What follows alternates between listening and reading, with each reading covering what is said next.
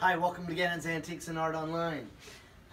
This is to just remind everyone that we're not just an antique dealer, one of the largest in South Florida, but we're art dealers. And I just want to ask, when's the last time you went someplace and saw three Emile Gruppes in stock at any one time? Now, the three Gruppes uh, that we have, I must say that two are so fresh to the market that we haven't even had time to hang them in our gallery.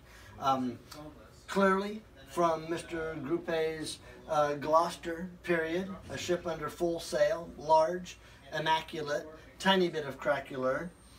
During this time in Jeffersonville, Vermont, one of his classic winter scenes.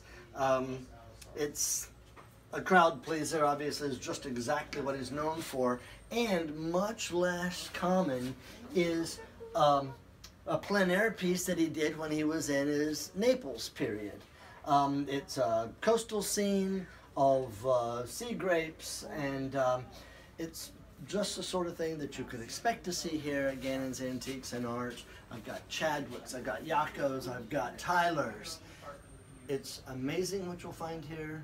Don't pass us by. You can visit us online. These are absolutely fresh to the market. If you want to deal with uh, a local gallery rather than an auction house, you'll want to contact us.